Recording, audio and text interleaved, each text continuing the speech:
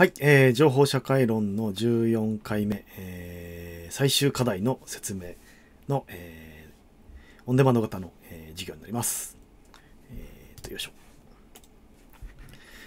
で、えー、と、ちょっといつものように。えー、と、まあ、先週まで、えーリアルタイムで授業やってきましたが、今日はちょっとオンデマンドタイプで、えー最終課題の説明していきます。あと、先週の課題も、えー提出してもらったのを確認しています。割と、えっ、と、まあ、時間も短くするので、えっ、と、クリエイティブコモンズを選ぶ人も多かったし、あと、まあ、ソースコード、プログラミングやってる人はソースコードとして、えー MIT ライセンスとか、えーまあ、そのあたりで、えーとライセンスを選んだ人もいました。えーと割と NC、クリエイティブコモンズライセンスは NC つける人とか、ND とかっていう、ちょっと固めなものを選ぶっていう、まあ、割となんかみんな、こう、えーとこの授業を経由して、ガードが硬くなった感じは、あの、という印象を受けました。えっ、と、いずれにしても、えっ、と、それぞれ、の考え方でそれぞれの定義ができているという意味では、そんなにこう読んでておかしい、あの、という投稿なかったので、ちょっと、あの、安心するというか、あの、この授業を受けた、えー結果としては、割とこのライセンスのスキルが上がった感じがあります。えー非常に説得力がついてきたんじゃないかなと思います。えっ、と、あと、えっ、と、そうですね。逆に、あれね、パブリックドメイン誰もいなかったですね。パブリックドメインとか CC0 とかね、えーそのあたりいないなっていうところと、えーも含めて、えーとなかなか、えー面白い、いい内容に、面白いというか、まあ、えー割と現実的な内容になってたかなというふうに思っています。なので、えっ、と、まだ提出してない人がいたら、えっ、と、引き続き、まだ、えー最終的には、えー今日の最終課題も含めて、えー8月の、えー13日、ちょうど1週間後ですね、えーの、えー火曜日の、えーもう最終課題なので、えーと夜23時59分59秒までに設定しておきます。で、えっ、と、次、最終課題を、えー今から説明をしていきます。えっ、と、今日はもう、えーそういう意味で言うと、今までの授業のまとめというところで、えー最終課題としても、まあね、あの、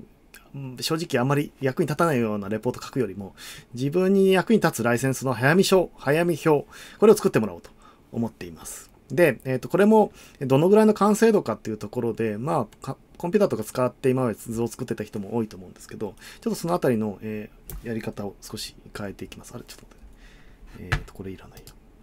スキップしたはずが。よいしょ。失礼。はい。まあ、ちょっとこのまま。よいしょ。で、えっ、と、最終課題としては、えっ、と、前回ある程度全体をまとめて、えー自分なりにもう、あの、ライセンスを選べるようになったと思います。で、えっ、と、このあたりの、こう、今度、今日は全体のまとめというところを図化していくっていうことができれば、まあ、それは結構手元に持っておくと、それなりに何かあった時に役に立つんじゃないか。まあまあ、それをデジタルにしておけばいいし、えっ、と、課題の提出はいつものように、もう後半戦は GitHub の一緒に上げてもらっているので、えー今回もそのやり方をします。取ります。つまり、えっ、と、今日、あの、作っ今回作った最終課題は、えーウェブに置いておきますので、えっ、と、基本、え何かあった時には見返す、見返せるようにしておきます。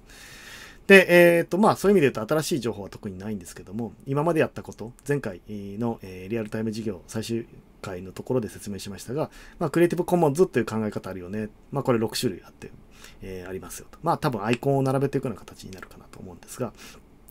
あと、政府標準利用規約第2版。これは、えー結果としては CC by 4.0との互換性を持っているというところですね。で、一方で、えーと、クリエイティブコモンズも、えーと、6種類以外に CC0 というパブリックドメイン相当のものがあるとか。あと、えっ、と、CC0 とパブリックドメイン、表現違うけど、まあ中身一緒なんですけど、えーパブリックドメインという場合もあったり。なので、ここはまあ、えーまあ、ほぼ多分グルーピングできるんじゃないかなと思います。あと、パブリックドメインの次、えっ、と、ソフトウェアのライセンスも、えーいろんなあタイプがあるので、まあ、そのソフトウェアのライセンスは、いわゆるクリエイティブコモンズとはちょっと違うんだよというところを意識できるように図化してみてください。あ、の図表現は自由です。あと、えっ、と、もう、えクリエイティブコモンズとかそういうのじゃなく、もう、いわゆる一般的な著作物として、コピーライトオールリザーブとして、えー表現するという、まあ、ガチガチなやり方もあるし、あと、えー途中で説明した引用っていうやり方を踏めば、日本の著作権法で割と実は許諾不要で使えるっていうところで、その引用の部分をどうこの図の中に埋めていくのか。で、うまく引用できない、まあ失敗したやり方になってくると、まあそもそも引用してないっていうところもあるんですけど、表説という大枠で、えーまあ悪意のある使い方があるよねって話もしました。あと、その悪意がないやり方の中で、日本国内では適用できないけど、フェアユースとかフェアディーリングっていう考え方もあるよね。まあこの辺が多分この授業の一番肝になってるキーワードかなというふうに思っています。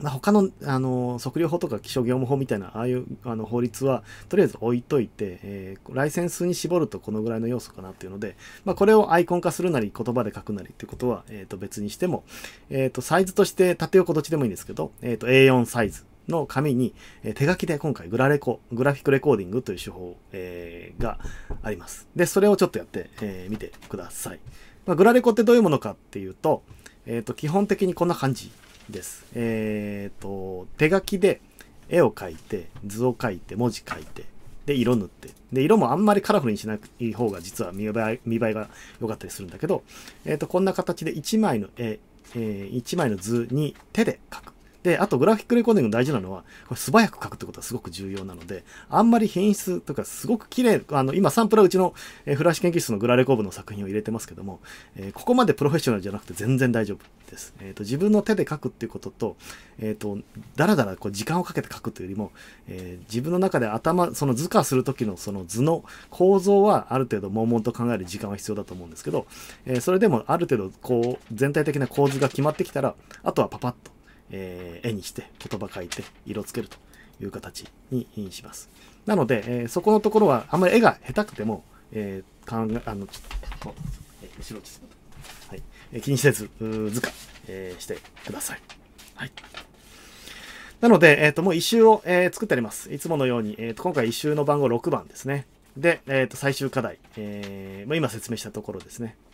で、それ、えっ、ー、と、A4 サイズで書いたグラレコを、まあ、カメラ、写真で、スマホの写真で撮るなり、えー、スキャナーで撮るなりっていうのを任せます。で、どちら、どちらにしても画像ファイルにした後、その画像ファイルを、えー、GitHub の一周に放り込んでドラッグドロップしてもらうということと、えー、含める要素、あと締め切りが、えー、1週間後ですよというところです。で、えっ、と、一周の投稿の時画像ももちろん貼ってもらうんですけど、えっ、と、まあ、せっかくなので、この授業も最終回という形で、えー、この授業の感想とかも、特にこの辺こうした方がもっといいんじゃないのっていうことも含めて、割と、あの、遠慮なく書いてくれれば、えっ、と、来年のこの授業またアップデートできるかなと思っています。なので、えっ、と、そこはぜひ、あの、一言でもコメントもらえると嬉しいです。えっ、ー、と、来週の授業はそういう意味で、えっ、ー、と、前回も言いましたけども、えー、質疑応答タイムとして、チャット、え、上ではフラッシュ待機してますので、何かあれば Slack で投げかけてください。え、特になければもうその時間は、え、最終課題まだ終わってない人、もしくは今までの過去の課題も終わってない人がいたら、え、締め切りすぎても過去の課題を出してもらってもいいですので、まあ、他の、え、時間の使い方、えー、をしてもらってもいいです。いずれにしても、来週は、え、オンデマンドでもなく、リアルタイムでもなく、質疑応答したい、質問がある人だけ、 Slack に投げかけてくれれば、えその場で対応します。えー、ざっと最終課題については以上です。えー、全、えー、まあ、今日来、来週も含めて全15回、えー、長丁場でしたが、お疲れ様でした。